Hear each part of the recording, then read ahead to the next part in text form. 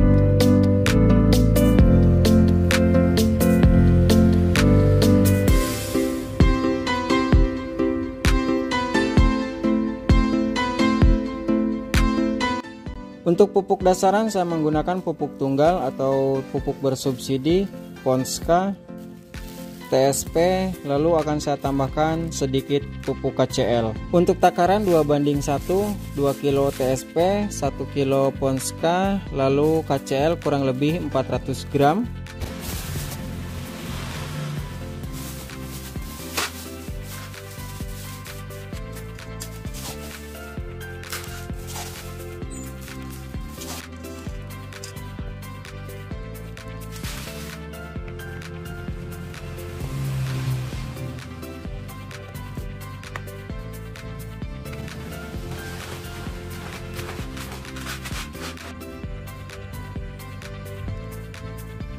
Cuaca habis turun hujan, saya akan menaburi kapur dolomit di atas bedengan.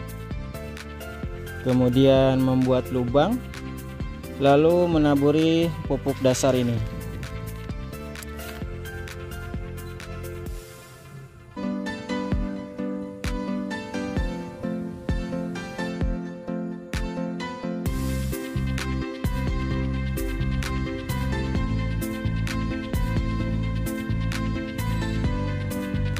Supaya lubang tanam lurus saya menggunakan tali rapia ini dikarenakan persemaian cabai rawit yang saya miliki hanya sedikit jadi saya akan gunakan dalam satu bedengan ini satu baris saja.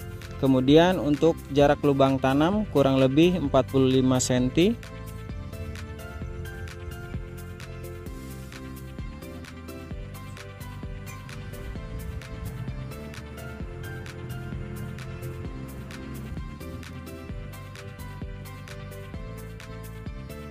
Untuk pupuk dasar 1 sendok per lubang tanam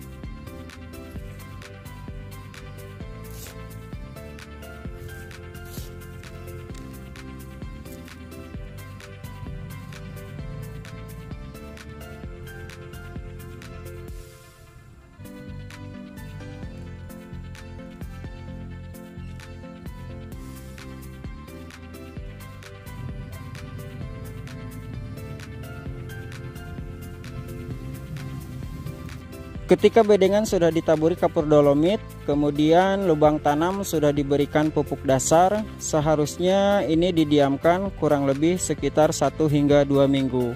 Dikarenakan bibit cabai rawit yang saya miliki sudah tinggi, harus segera dipindah tanamkan. Insya Allah akan saya pindah tanamkan di hari Sabtu tanggal 22 Oktober tahun 2022. Hari ini hari Jumat tanggal 21 Oktober tahun 2022. Oke kawan, untuk kegiatan hari ini sampai di sini dulu. Kita lanjut lagi besok hari Sabtu proses pindah tanam. Halo kawan, hari ini hari Sabtu tanggal 22 Oktober tahun 2022. Kegiatan saya di sore ini sedang membuat bedengan seperti ini yang nantinya di bagian ini akan saya tanami terong ungu dan terong putih. Kemudian kedua terong tersebut akan saya jadikan perbandingan terong yang menggunakan pupuk kimiawi dan terong yang menggunakan pupuk organik dari kohe kambing.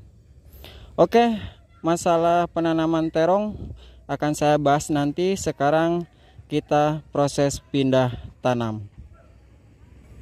Dan ini alat tempur yang akan kita gunakan di sore ini. Kemudian ini bibit cabai rawit yang akan kita pindah tanamkan. Seperti ini.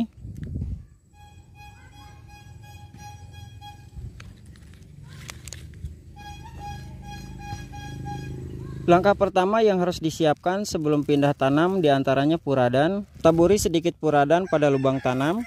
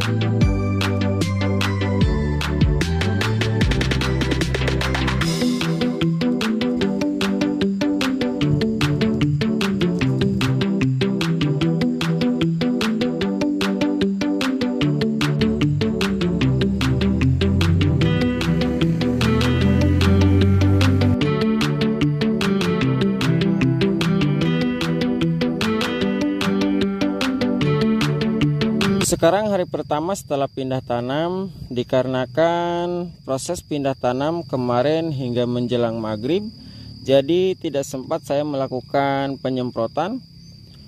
Di hari ini saya akan melakukan spray ataupun penyemprotan dengan memberikan pupuk mikro dan insektisida.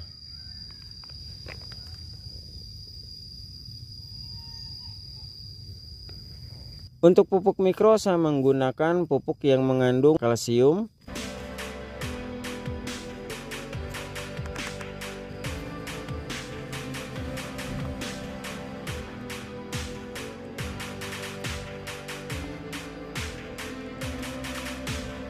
Untuk insektisida saya menggunakan merek dagang dari Darmasan 600 EC berbahan aktif pentuat 600 gram per liter.